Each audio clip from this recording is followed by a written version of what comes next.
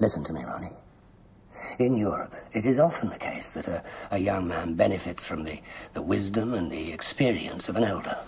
Why, there's, there's, there's almost a tradition of such friendships. Cocteau, Radiguet, uh, Verlaine, Rimbaud. Rambo? Arthur Rimbaud, French poet. He. He was Paul Verlaine's lover.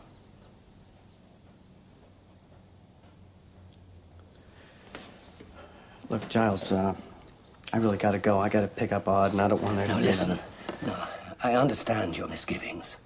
And I respect the fact that your uh, immediate plans are founded on these temporary attachments. Temporary attachments?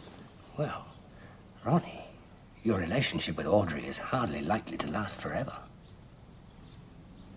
And why's that? Well, it, I'm, I'm afraid it's obvious to me.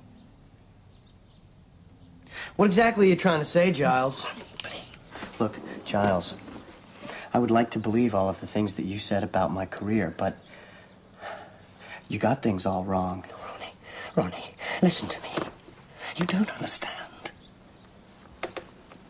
Giles, I think I do understand, and I have to go now. No, how can you act like this? When you know. You must know. How completely. How desperately. I love you.